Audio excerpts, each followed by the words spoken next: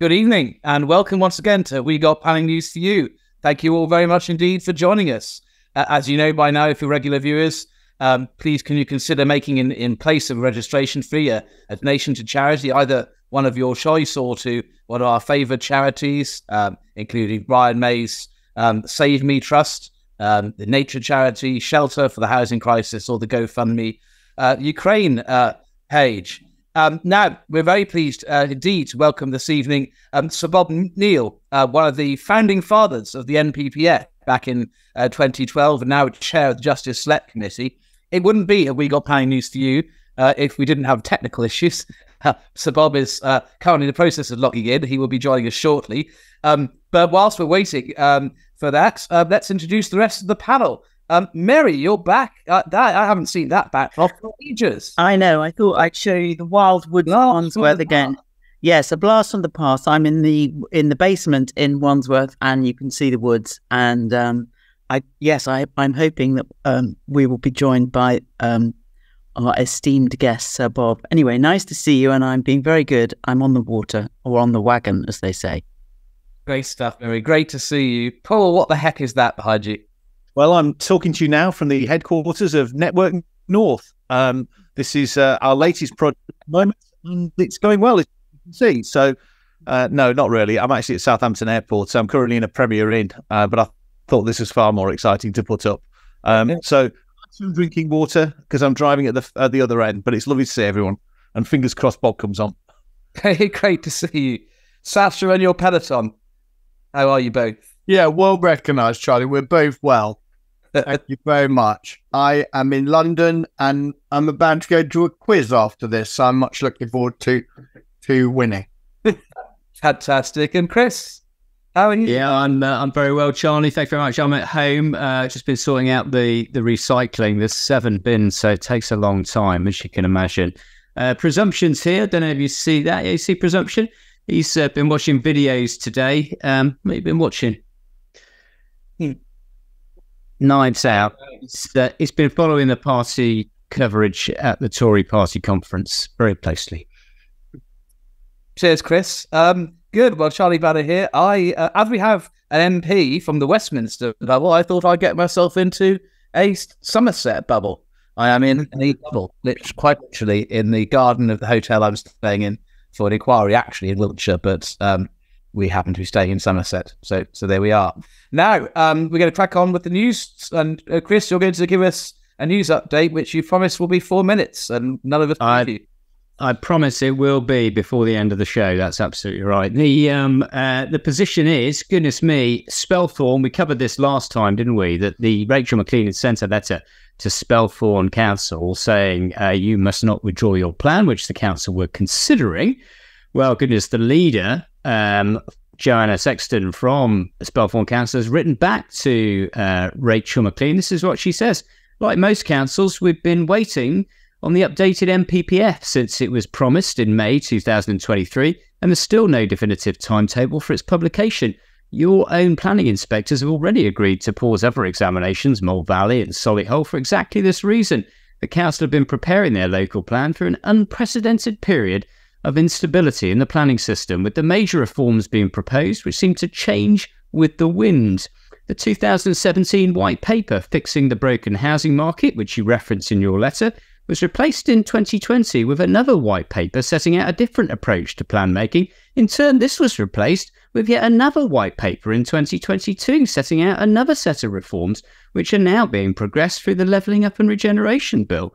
And she points out that um, it's surprising that it didn't intervene in Basildon and Castle Point, um, which have uh, plans um, which were older, and um, and they of course uh, withdrew their plans. So a very interesting reply, and um, I don't think Rachel Maclean has replied yet, but no doubt that's on its way. Equally interesting is the fact that um, Greenwich Council have issued uh, an enforcement notice against two very large towers in relation to the um, the two high-rise buildings um, by Comer Homes Group, and they issued that um, uh, last week. And the developer has come back and said um, that it's an unnecessary step, um, and this will obviously have to be played out in an enforcement uh, appeal, I would think. Looking at the variations, the council said there are significant variations. In fairness of reporting, the developer says they're not significant.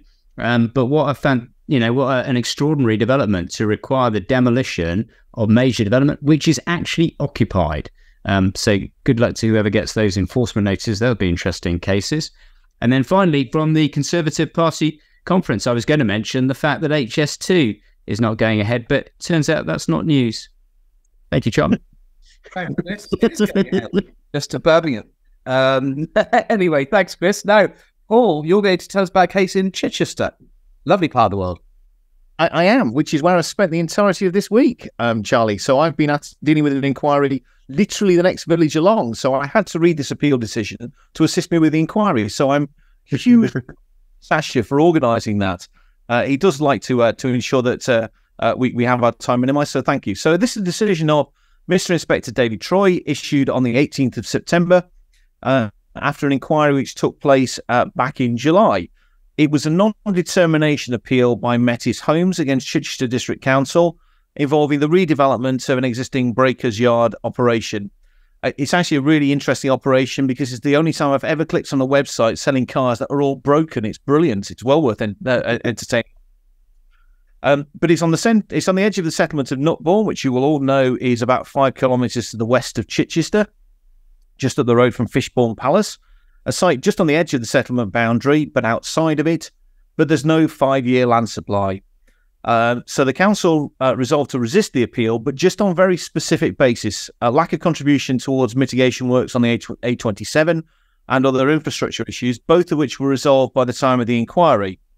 But third parties were opposing matters on the basis of a whole raft of things, which is why the decision's uh, a, a little long. So there's nothing earth-shattering about the decision, um, but on the face of it, it's it's a practically unopposed appeal in circumstances where there's no five-year land supply. Uh, as of yesterday, the council was saying it's 4.65. Main policies out of date and no technical deal breaker. But there are two interesting takeaways on it. Uh, the first of which is um, there's no five year land supply, but the council back in November of 2020 adopted an interim planning statement where they set out 12 criteria that need to be met for sites to be brought forward uh, outside of the plan process because they didn't have a five year land supply. Uh, as of what are we, October 2023, uh, not a single site, as we understand it, has been granted pursuant to the interim planning statement by the council. They've all been granted on appeal. Um, so, frankly, uh, great that they make good their intention, but if you make good your intention, you need to follow through with actually dealing with it. That's what public governance is about. And the second thing is the A27 contribution.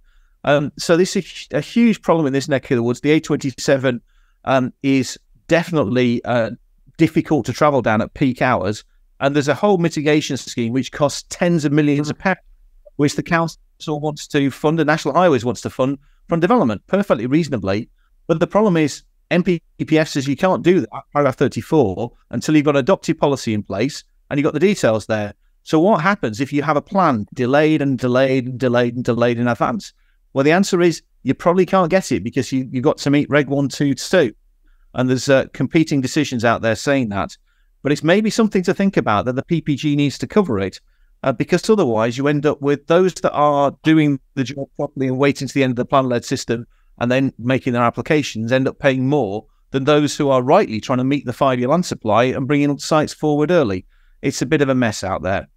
So that's Nutbourne uh, by name and by nature. Thank you, Charlie. Thanks, Paul. And before I go to Sasha to the next case, Bob, welcome. Thank you very much indeed for joining us. Great. I thought my way through the technology. After that, it wouldn't be a live show if we didn't have some kind of technical bit happen to all of us. Where are you joining us from? Uh, where are I'm from. I, I'm from not so sunny Chislehurst, so uh, Oh. in the constituency, you? in, in the study at eight. Excellent. Well, we're really looking forward to um, the interview that Mary's going to lead with you in a few minutes' time. Great. Um, Sasha's, uh, Sasha's now going to tell us about a case in Watford, and then I'm going to deal with um, uh, one in Southwark, and then over to the interview. So, Sash, over to you. Thank you very much, Charlie. And as I've said privately to Bob by email, Bob has the privilege of representing the greatest constituency in these islands, uh, birthplace of my mum. So, um, welcome. Very important. Thank you. Very important too, Sasha. Yeah. and, and also not far away from the home of the greatest team in cricket, Kent.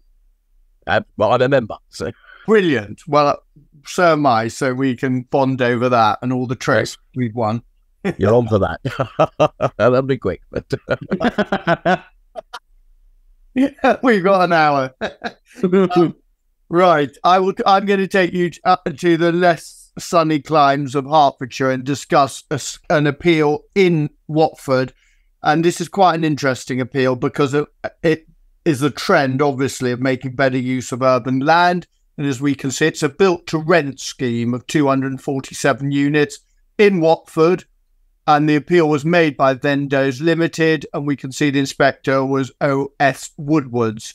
Inquiry held in August and September. The note, final date of September, decision date on the 26th of September. So one can infer that the inspector felt pretty um, clearly that permission should be allowed, as we can see from paragraph one.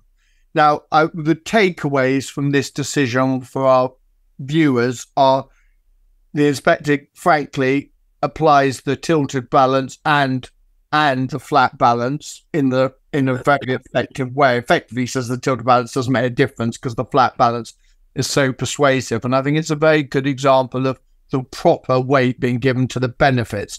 And I think the inspector was particularly keen on on the housing. He was particularly keen on the build to rent rent element. He was very keen on, as we can see, it was a mixed use scheme with Class C floor space which the conclusion was that was 600 full-time equivalent jobs. And I think that that overall, I think there is also another point which I think is very relevant for our viewers. Fallback. There was an extant permission on this site, but the developers made the case that they accepted that the existing consent was not viable. And it's interesting, in those circumstances, the inspector concluded it wasn't a fallback correctly with the case law, However, it was a material consideration that he needed to bear bear in mind. And Paul don't too puzzled. Yeah. people people pay you a reasonable amount of money sometimes to tell the difference between a, a fallback and a material consideration. Of course, Mary immediately gets the subtlety of difference. so no, so overall, I think it's it's a quite a powerful exposition of the implementation of the NPPF on sustainable urban sites and, frankly, the increasing trend for tall buildings in our urban areas. Thank you, Charlie. Thanks, Sasha. Now, every Saturday or Sunday, uh, every second Saturday or Sunday, the rest of us get an email from Sasha finding out whether we won or lost in the lottery of allocation of case reports. So this this week, or one, because he got a case he had to read anyway and be paid to. I, however, have got a decision that involves, in fact, four different appeals and 226 pages, which I have to summarize in the next three and a half minutes. Thanks, Sasha. Really appreciate it, mate. So, um, this was a decision by uh, planning uh, housing minister Rachel Maclean uh, dealing with Great Portland Estates, two alternative proposals to redevelop a uh, office block in St Thomas Street, uh, London Brothers Southwark in London, and replace it with a tall building. And there were two options, a 26 or 30 story, 37 story options, providing um, uh, 50,000 odd square meters of commercial floor space uh, overall. Uh, they were uh, refused uh, based on the scheme's potential harm to nearby heritage assets and the harm to the area's townscape character and appearance. Overall, as I said, there were four schemes A, B, C, and D in the uh, appeal decision. Appeal A concerns the 37 story block. Um, appeal um, uh, C, uh, I think I got the right, was the uh, was the smaller um, uh, block, uh, and then there were um, B and D, which were applications for listed building consent um, for the restoration of a nearby Georgian listed terrace and the reconstruction of, of a 19th century building known as Keats House. Um, and these were to be tied into the tall building schemes by 106 and thus held out as benefits of these schemes that be heritage benefits. Uh, agreeing with the inspector, Claire Searson, uh, the minister dismissed the planning appeals uh, for both tower blocks, but allowed the list of building consent appeals um, for the restoration works. Um, for the planning appeals, um, the minister, uh, uh, in agreement with the inspector, gave significant weight to the various uh, benefits in terms of office floor space, affordable workspace, public garden, as well as the restoration of the Georgian terrace uh, and substantial weight to their sustainable transport benefits. The jobs uh, during the construction operational phase has also got significant weight. However, none of that uh, collectively outweighed the harm identified. And in relation to heritage, the Inspector and the Secretary of State identified harm to a range of designated heritage assets, including those of the highest significance, including high end, and less than substantial harm, the Borough High Street Conservation Area, and the Grade 2 star Guy's Hospital, lesser levels of harm to the Grade 1 listed buildings in question and the Tower of London World Heritage Site. In relation to Tower Townscape, uh, the Inspector and Secretary of State agreed that whilst both schemes would have commendable attributes in architectural and public realm terms, um, nonetheless, good design, as the inspector said, in what I might say was a particularly erudite decision, um, good design cannot exist in a vacuum. And in spite the site being broadly acceptable in terms of the principle of tall buildings, there will be significant harms caused, particularly due to the juxtaposition with lower level development, which would be dwarfed, uh, and the impact on the public realm uh, by the developments, um, and particularly their scale and mass. I think, in terms of key take homes, it's another instance of, of a tall building scheme being found to be high quality architecture in its own right, but not appropriate for its location. There's been a few such decisions uh, recently along the same vein. A building which is beautiful in itself is not well designed if it doesn't relate well to its surroundings. And there's ample policy basis for this in the in the development plan in this instance, but it's clear once again that the NPPF design policies in the last iteration of the framework, or last but one now, provide further tools for such an objection to be articulated. And lastly, I, I was struck by paragraph 13.11 of what I said was a particularly erudite uh, inspector's report, where, where Inspector Searson said an assessment uh, of design is perhaps one of the most debated areas in planning. What represents beauty and delight to some is also considered a monstrosity to others. The development of Shard is a case in point. As today, is still the focus of debate as to whether it's a positive influence on the London skyline or is negative. The fundamental issue in play in these cases raised differences of opinion and in judgment. And in this particular instance, uh, these appeals, the parties were so far apart in their views on the success of the schemes in design terms, it's no surprise it's now before myself to consider and the Secretary of State to adjudicate. Now, a point that the decision uh, and the inspector's report don't address explicitly, probably because they didn't need to in this case, is um, what's the approach to that adjudication? Bear in mind that the subjective nature of design is it for the decision maker to impose their subjective view? So if they hate the scheme, no matter what anybody else might think, then you dismiss. Or, or should a more liberal approach be taken, recognizing there might be a, a range of reasonable approaches to design, reasonable responses, and refusing on design grounds only if the proposal is outside that range of reasonable uh, designs? As I say, that wasn't an issue that needed to be decided in that case, but it's something worth dwelling upon, and it may well uh, need to be decided in a future case. Anyway, with that in mind, I'm now going to pass over to Mary, who's going to uh, introduce Bob and um, start our discussion with him. So over to you both. Great. Thank you very much. Well, good afternoon, Bob. Thank you so much for joining us. Let me just sort of introduce you. You, like us, are in fact a qualified barrister. I don't think we've had a show with when we've had a, a hat trick, as it were, uh, of all participants um, being a qualified barrister. And indeed, before you were an MP, you were a successful criminal advocate. Uh, and you were first elected for Bromley and Chislehurst in 2006. And you've won that position five times. And I say, I mean, five times you've served continuously since 2006. That's a tremendous record.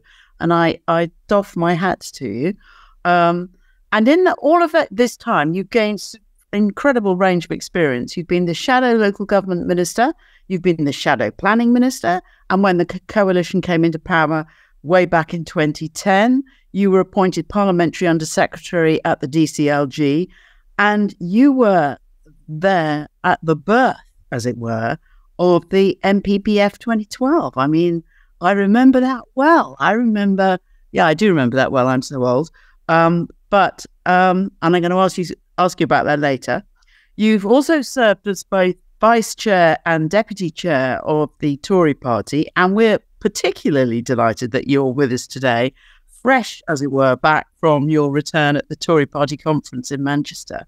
And so, my, my first question really is how busy and how buzzy was the um, was the conference? Well, lovely to be here, Mary. Thank you very much for the invitation. I'm uh, I'm fresh back from Manchester with a, uh, the standard conference cold, basically. So if I cough and wheeze, uh, that's one guaranteed thing you get out of a, a party conferences is that you'll end up with, with, with croaking afterwards. Something, but uh, uh, That's because you've been in the bar. You've been in the bar late at night. Come on, well, we that know. might We have know. we've- to do with it sometimes. yeah. We we are all barristers on this panel, aren't we? Yeah, yeah, yeah. Oh, I think actually it, it's always the way of it uh, that um, what you get in, in some of the media isn't the whole story. Hmm. Yeah, it, it, it's, it, was, I thought, actually um, much more positive uh, than uh, some commentators would have wanted you to believe. Hmm. Um, I think there was actually quite a lot of uh, positivity, uh, a lot of interest. Um, I did a fringe with Alex Chalk, the Justice Secretary, um, uh, for the Society of Conservative Lawyers and the Bar Council and Law Society, and we were packed out there. Uh, and uh, it wasn't talking about just the usual stuff. We're talking about quite seriously about where the balances are um, uh, we, we, between politics and law, some of the quite important constitutional issues. A really interest and enthusiasm for that. Similarly, from um, a fringe I did uh, on um, uh, prison reform. So it, it's not always um, uh, the people who get the biggest headlines uh, that Yes. that, that, that, that, give you the real flavour of how party conferences go. I do think there's a, a lot of support for the Prime Minister, which should be said. I mean, I'm biased because I supported Rishi from, from day one, but I do think there's a lot of support for him, the recognition that he is steadying the ship. I think most people want to um, to get behind him and think, yeah, we can actually uh, do this. It's a tall, it's a big call uh, to get a, a fifth term income, but it's doable. Um, I didn't go to any of the parties where people were dancing with Nigel Farage, I hasten to add. I must say, if I'd been there, I might have been tempted to whisk Mr. Gove around the dance floor and show him a trick or two, uh, and and maybe maybe get him to change a few things. But anyway, I'm going to whisk him round and talk about the NPPF, will you? are? it's I I have a copy of that in my handbag. It's really sad.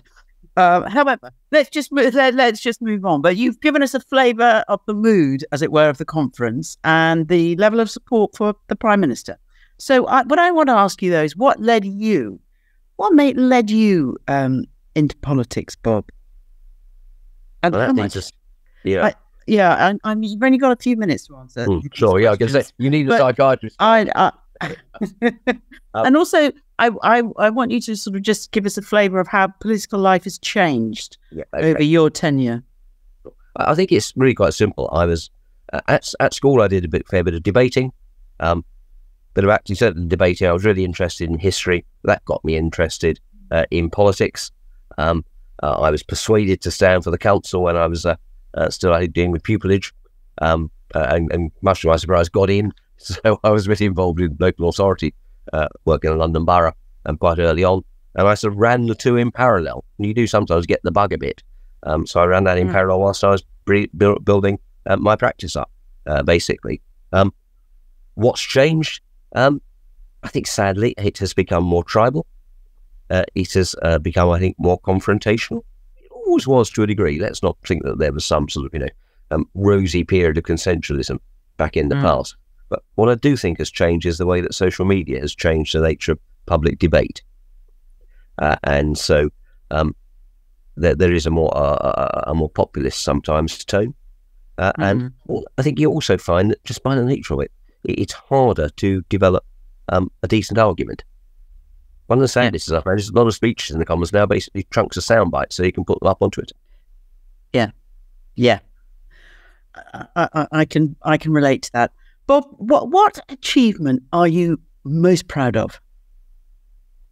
I think if I was honest, Mary, I'd say actually is chairing the Justice Committee for the last eight eight years. So a, a job rather than a specific, because I do think that's the best thing. It's great to be a minister, but I think having the chance to to bang the drum about legal issues, uh, about the importance of the justice system, not just for the professions, important though that is, but also uh, about the rule of law and actually making sure that we fund and uh, or don't will always fund uh, the justice system properly, civil as well as criminal uh, and family. There's been a real opportunity.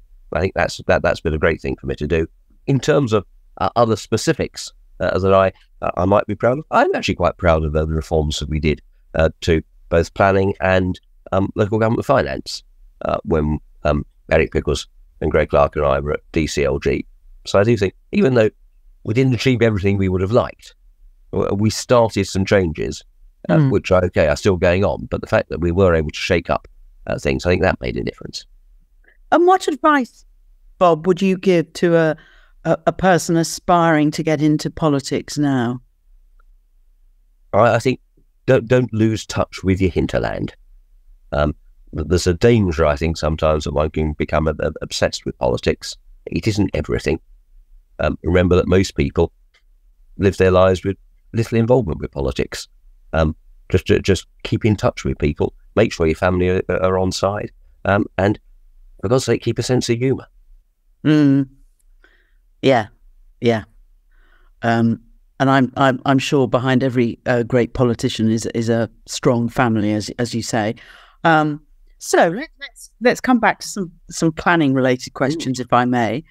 Looking back um, over, I'm going to say the last 13 years because it's 13 years since we um, Yeah, yeah. It, we've had the National Planning Policy Framework, and that was introduced in a sort of bonfire of red tape when the coalition came in.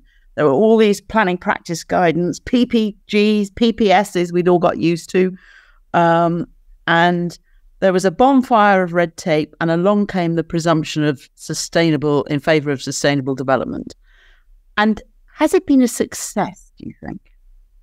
I think it's mixed, frankly, uh, Mary. Mm. it, it, you almost need to take a step back. Or most of this has been worked up in 2009 when we were in opposition. Um, and the background to it is that that's when Steve Hilton uh, was very much um, uh, David Cameron's it's almost policy guru.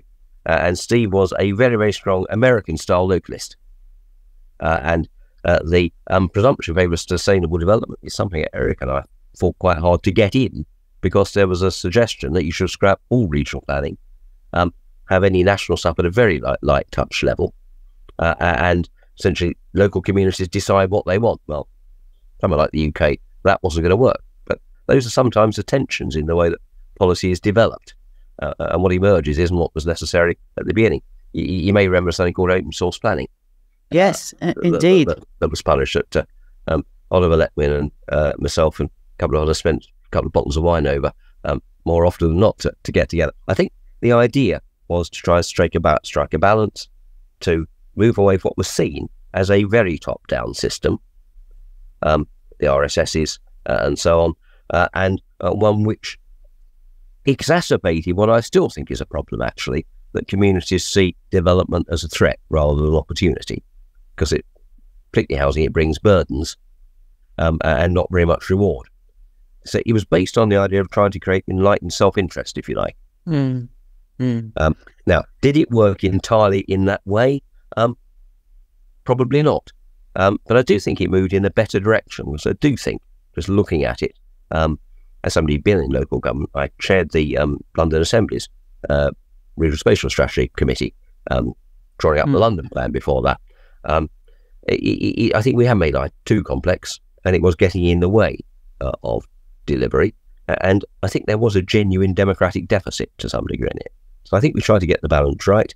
Um, it, it probably overestimated, or maybe we underestimated the demands that it made of local planning authorities um, to uh, change uh, uh, their, their their practices. Uh, I think possibly um, we're a bit too optimistic about the willingness of um, local areas to to adopt that enlightened self-interest. NIMBYism is, uh, Mm, I'm afraid, right. more limited than you than you'd like. Uh, so that's why I think it's evolved somewhat to put in a few more. Um, uh, in the end, we, we found ourselves as we were going. You need to put in some more sticks. Mm. Well, I mean, why? Again, in a, in, a, in a sentence or two, why hasn't the government been able to do better in terms of the delivery of housing? I I think it's a mixture of things. Um, possibly still, uh, we haven't um, got got the, the the basics right around how we calculate housing supply. For example, um, uh, there is the, a particular touchiness around green belt, as you know, Mary, um, and that, that's true in, in London and the southeast. Um, there's also been other things which actually aren't pure planning things that have got in the way. Um, uh, there's been, I think, there's a real problem with um, sufficient able and qualified planners. I think most local authority housing planning departments are woefully under resourced. Uh, many of the district councils are arguably too small uh, to um, uh, to be able to cope with anything beyond the, the, the most basic size of application. Um, uh, and one area where we didn't, uh, I think we still need to do more work. Uh, we were trying to, to get something that was between the RSSs, and I saw a question: Do I regret the abolition of the RSSs? Um, not in the current form that they were, because I do think that they had a sense uh, that they imposed upon communities without any benefit. Um, if I was starting again, would I move to something that's somewhere in the middle, perhaps? Um, possibly so. I think the other bit that we didn't get right uh, was it enough incentives uh, for communities around housing. So, for example, a new homes bonus um, didn't run long enough uh, and wasn't in, enough, I think, to make it worth communities' while to take on housing in the numbers that we would have hoped for. And that's partly because we were getting pushed back from the Treasury um, in a time of uh, you know pretty tight budgets as to how much was going to be available.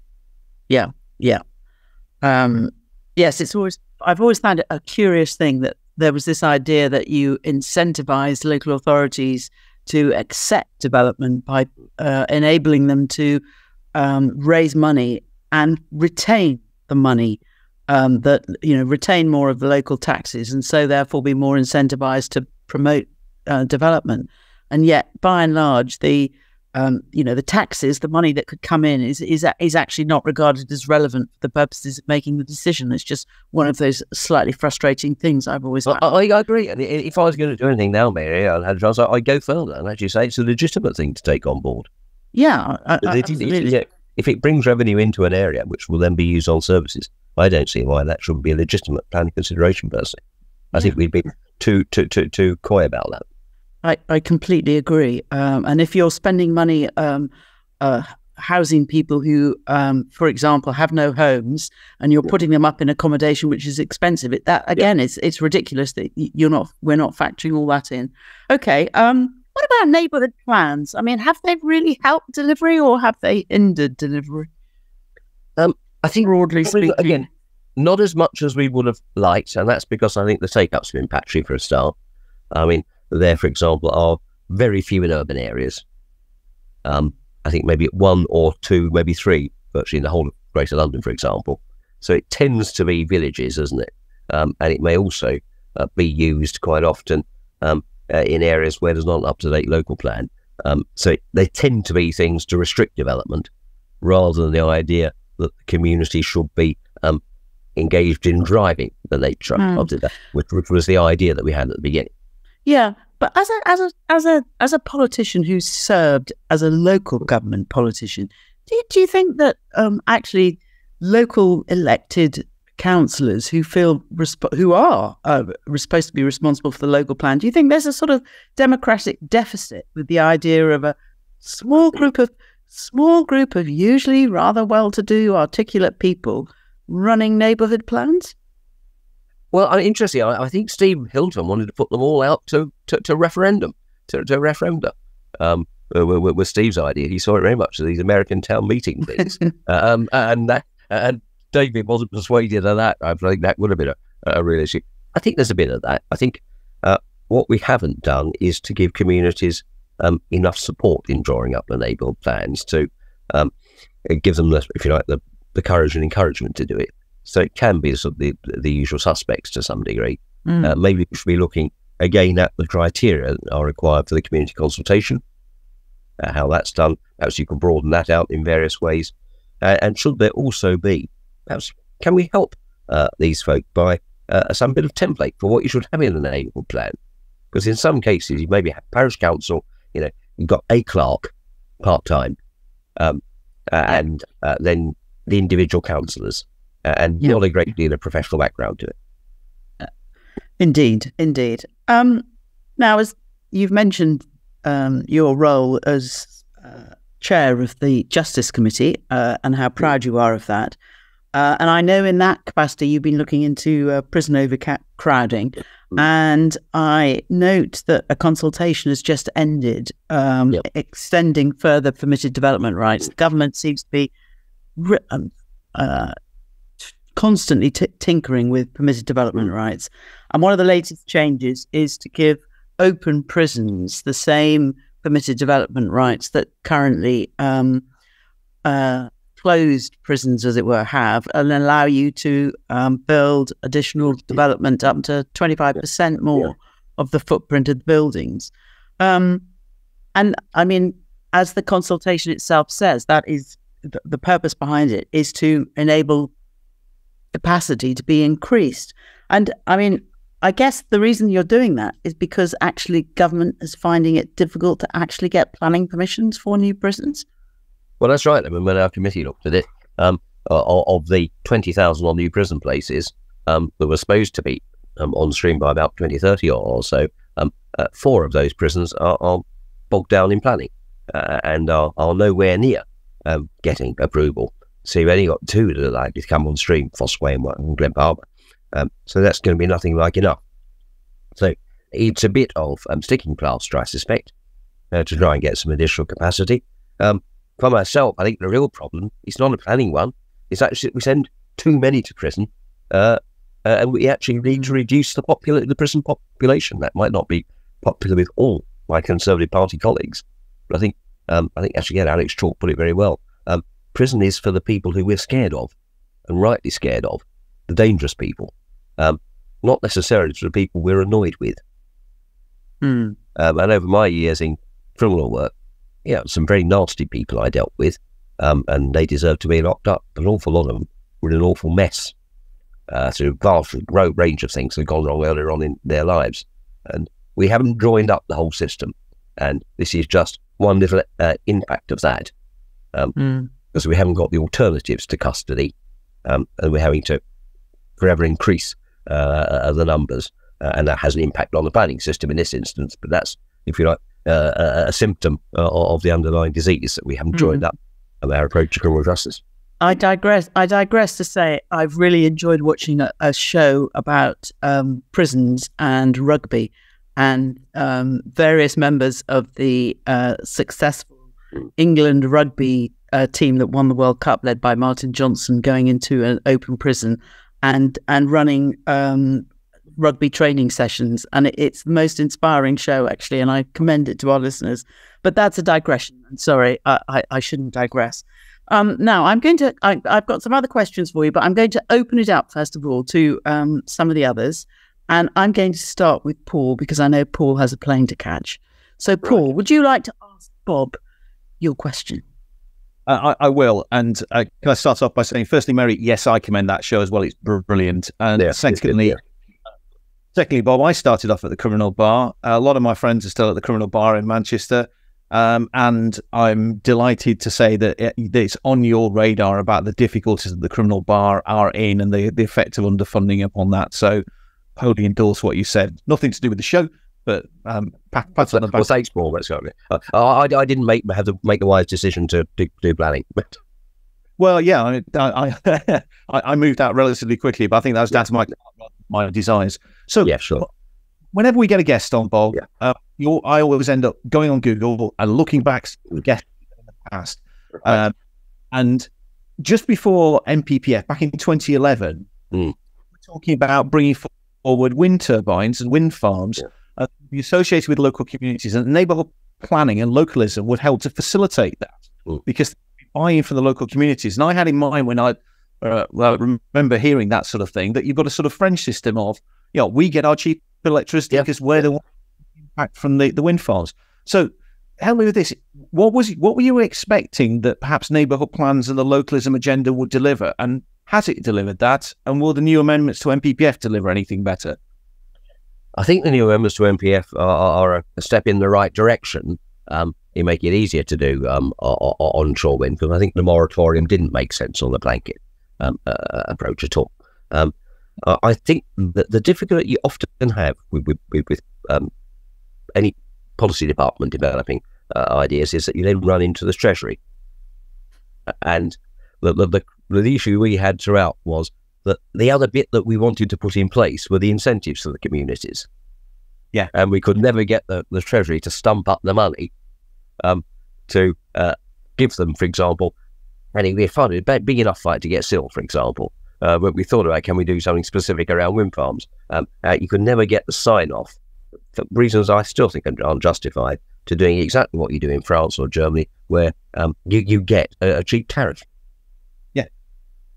Um, so the system was intended well, but for a vast a number of reasons, maybe that says something about the siloed, siloed way in which we conduct government uh, in the UK. Um, the other bits were never joined on properly. And, the pretense that, that people aren't really acting out of self interest, that everybody's acting in the public interest, whereas in reality, if a community takes a disproportionate hit by accommodating a development, they should get something out of it. Well, well, that's exactly right. And I don't think there's anything wrong with that, either morally or, or practically. Um, you know, they take the hit for the greater good. Uh, so we ought to give them something for that. Uh, thank you, Bob. Vive la France. Charlie, what's your question? Thanks, Please. Mary. Hi, Bob. Good, good to see Hi, you. again. Charlie. Good to Hi. see you again. Um, as I said to our viewers when I started the show, you you were one of the founding fathers of, of the NPPF, and so I'm keen to understand if there was one piece of advice you could give Michael Gove uh, uh, regarding his proposed changes to it and what to do in response to the consultation. What would that piece of advice be? For God's sake, don't change it again. I mean, whatever it is, make your mind up and stick to it. Because I think that the toing and froing has been a real problem Mm. uh, on you know, on delivery and actually for the credibility uh, uh, of the system. Uh, and yeah, poor old Michael has already had his um, fingers burnt a bit over housing targets. Um, give me some some of my colleagues, I have to say, around that. But I say, look, get the prime minister on side and just stick to it this time, uh, and don't be forever change it because yeah, people want certainty, don't they? Yeah, there's a, a I don't know if it's an apocryphal tale or not, but I, I understand uh, someone said that once that John Rose was once invited into government many years ago, saying, "What would you do?" You know, this, that, the other, and he passed over a blank sheet of A4. So that's what I'll do. That's my thing. And I, don't, I don't know if that's true or an urban myth, but it's, it's Well, it sounds possible, right. exactly. It's a very saucy conservative approach, isn't it? Indeed. Don't do anything. Exactly. No, thank you. Really interesting. Thank you very much indeed. no problem. Chris, what's your question? Bob. Hi, Bob. Hi. Um, Hi, Chris. Thank you very much for, for joining us. Uh, we watch your career and we're very impressed of your position on a number of different things uh, on Brexit, on the Withdrawal Act, um, on justice, on legal aid. Um, there's a lot of admiration for your position, and I wish that actually a lot of politicians in your party were where you are and not not elsewhere. Um, my question um, it's about housing as it happens, uh, and um, it's about Bromley. I've been to Bromley a few times now. Uh, we've had a tall tower granted twice, 150 houses, then 250 houses, um, and on the second occasion, very very little affordable housing was achievable because it was a tall building, beautiful architectural design designed by Ian Ritchie. But there's no money for the affordable after that. I think we did 19% first homes, but certainly no social rented. And my, my experience of Bromley is that, you know, they had a reasonable good delivery record until recent years, um, about 625 a year. Last year, Bromley delivered 120 homes, well, the last reported year. And of that, 27 were affordable in a major London borough. 27 affordable houses. The year before, it was 11. And with right to buy losses, they dropped down to 6 and 12. So basically, affordable housing delivery in Bromley has collapsed. Collapsed. What is the answer? I'm sat here in Cheltenham, Alex Chalk's Mm. constituency. Yeah. Just over there, 5,000 houses are coming out of the Greenbelt. Over there in Gloucester, 2,000 houses are coming out of the Greenbelt. People are taking land out of the Greenbelt and delivering housing and affordable housing. Bromley won't touch its Greenbelt. How is that fair? And why will you not? Why will Bromley not do anything about it? They're your councillors supporting your seat. Well, one thing I think one's uh, probably you know, Chris, is that the uh, extent to which uh, the MPs can ever try and lie and manage the councillors is uh, much more theoretic than, than, anything else. They're pretty fiercely independent. You, I you must have a view. You must have Well, a view. yeah, no, I do. Look, and uh, I think it, it, it's been very disappointing. Uh, I think there have been sometimes it can be as simple as um, turnover in the planning in the planning department. Um, we've had a real challenge actually with, with with planners in Bromley over the last two or three years. I think we're not unique in that with other London boroughs, um, but we have had some some, some real issues uh, there with experienced people retiring as it happens. A number of good people uh, left, uh, and that's actually I think rather gummed up uh, the works. There has been, to some degree, a lack of political will from some of my colleagues uh, to do it. I think got we've got to recognise that. I think things are changing a bit. Um, we've uh, had a bit of a shuffle of the of the leadership team uh, amongst the um, executive members of the council, um, and uh, we've now got uh, portfolio holder specific, specifically dealing with this, um, who's herself a housing professional. So we're starting now actually to build our own houses uh, for affordable. It's a small number at the moment, um, but it's about 250, 300 uh, currently planned. Now that's on council-owned sites at present. That's that's since those stats that you had 21, 22. This is stuff sort of starting uh, this year. So I think there is a bit of a change, uh, and I welcome that, frankly. Um, the I think the other two things that uh, you do have to bear in mind uh, with Bromley is there is a real concern about tall buildings because of the Croydonification.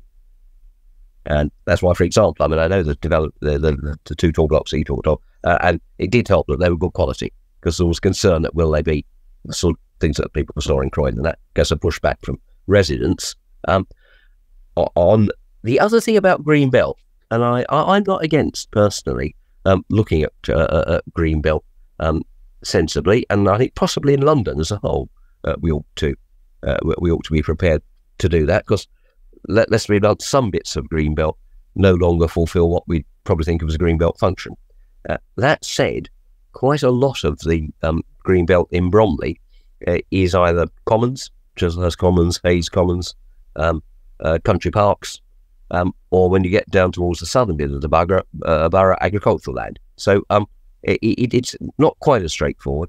And maybe the, the, the contrast I'd suggest with, say, Cheltenham, or uh, is I think there you can do exactly what is, is being suggested. You can create a, a mini community in the green belt, can't you? In effect, create five thousand houses, sort of new village. Um, there's not really a space to do that in somewhere like Bromley. It's more likely to be add-ons to existing urban uh, urban envelope. I assume that's what's what's performed in, in Cheltenham. So that makes it a bit harder sometimes. It's an urban extension, and you could easily yeah. do an urban extension yeah. to Bromley. Yep. Yeah. Um, so I think we're going to have to look at it. It's it is interesting. It's not just, of course, that the council is very anti-greenbelt. Um, uh, he's very anti-building on greenbelt, um, as are a number of other London boroughs. But of course, the mayor is as well, mm. and that's perhaps a little surprising that Sadiq has um, uh, gone very hard uh, on saying, "I want more housing." Actually, his delivery on affordable again has been pretty poor. It must be said. I don't mean it's a political point, just a statement of fact. Uh, and one of those things has been uh, his very strong um, objection to any building uh, in the green belt. Um, and so, yeah, last time it, you always get a bidding war between both main parties' candidates, the same we won't touch green belt. so really, that's a really fair point. Is the answer quickly? Is the answer to try and build a consensus that both parties stop pretending we don't need the green belt and just come forward? And you've said it there. You're not against looking at the green belt. You're a very, very sensible MP. What about a consensus? if we could find one, I'd be delighted to. Um, uh, and that comes back to my perhaps point at the very beginning. One of the sad things is um, the more, um, I said, almost tribalistic, certainly more confrontational uh, attitudes. It's harder to build consensus in the current climate. And I think that's a shame because there were times when I was on Havering Council years back where actually we did. Uh, and I think it's a pity that's got harder.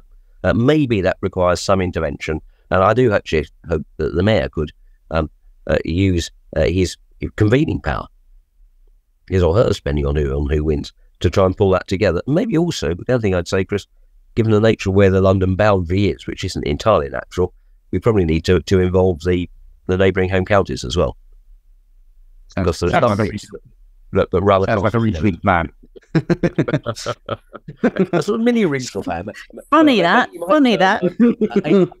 you could call it a sort of a boundaries plan or something like that. But if you're going to re- review Green Belt, it makes sense to review it in Dartford as much as you do in in Bexley, for example. Thank you for your candor. Thank you.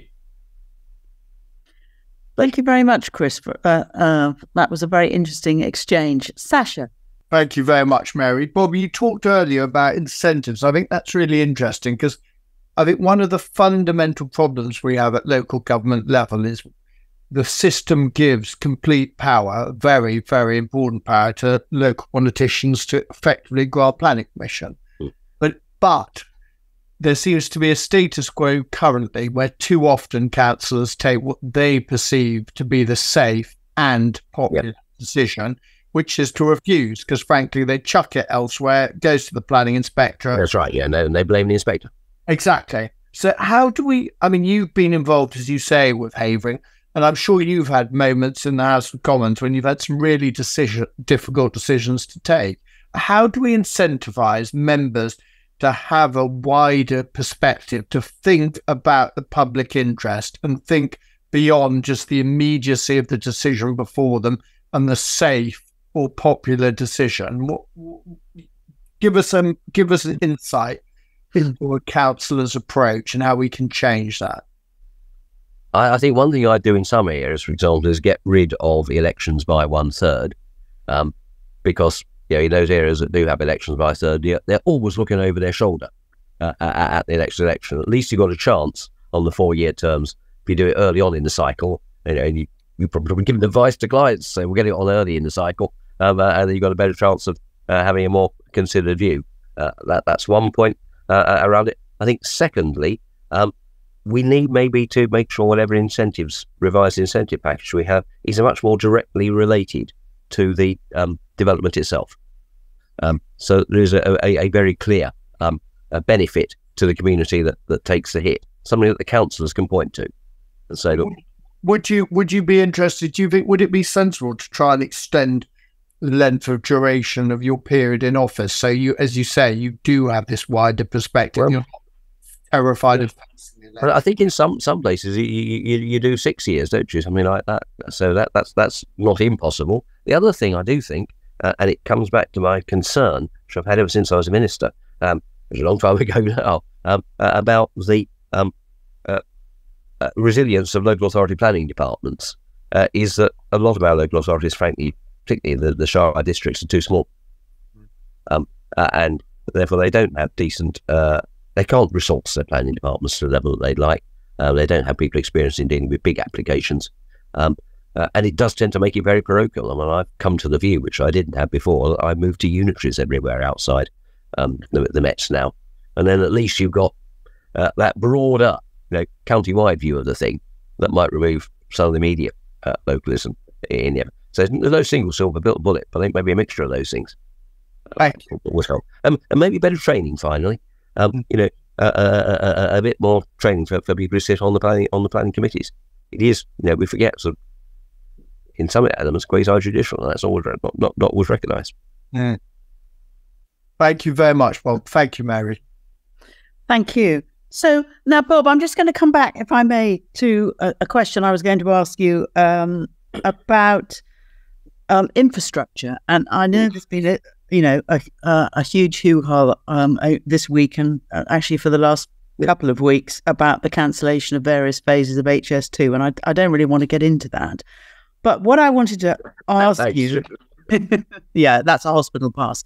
I, I wanted to ask you about, um, again, just sort of reflecting on um, the last uh, 13 or so years in, in government, uh, how we've done as a country in terms of infrastructure with the DCO regime because that's something that um, the um, the Tory party and then the coalition kept on. Um, yeah. And do you think we do you think we've been a bit more successful uh, with our use of DCOs and the delivery of road and energy infrastructure? Is is that more of a success story? Do you think than I, I, I, I housing, for example? Yeah, yeah, I, think it has done better than housing, frankly. Uh, and so, I mean, I do think that's that, that's justified. Many of the constraints around some of the infrastructure projects have been financial rather than um, planning mm. processes. Um, so, I, I, think that's broadly justified. There may be tweaks and changes that you can make uh, from experience, but I, I think that's a, a good thing. Um, uh, and we need to maybe see if we can actually roll that out. A suggestion, I think, of actually extending uh, the scope uh, that DCOs uh, could be used for. And that depends on what you define as uh, as an NSIP, doesn't it? Yes, but, indeed it does. Indeed, and you're absolutely right. There was a time when we all we were all wondering whether, for example, housing would be uh, yeah. uh, something that would be allowed to be delivered through a uh, a DCO, so that, for example, if you had a very significant uh, new residential scheme which needed a new or a significantly improved interchange on a motorway, you could do it, do it all in one hit. Um, but that has not yet come to pass. Um, well, Bob, can I just say thank you so much for uh, your candid uh, answers. It's been delightful to get to know you and to speak to you um, over the course of this week. And thank you very much for joining us. And um, I, I pass it back, the baton back to you, Charlie. Thanks, Thank you, Bob. Mary. Thank you, Mary. Mary, and thank you for me too, Bob. It's been absolutely insightful and fascinating and very enjoyable. So thank you very much. Now, in two weeks' time, Thank you. I think by my calculation is the 19th of October. I never trust my maths. We have um, Community Power- Planning Powerhouse, Rosie Pearson, chair of uh, the Community Pa- Planning Alliance, founder of the Essex Pylons campaign, and, and many more. Um, so Rosie's going to join us um, in two weeks from now. But until then, um, can we say again, well, thank you very much indeed. And Pleasure. uh, we will see you in a fortnight. Good to see you all. Many thanks. Cheers. Yes. See you soon. I All hope. right, Bye. yeah, absolutely. See you soon. Cheers.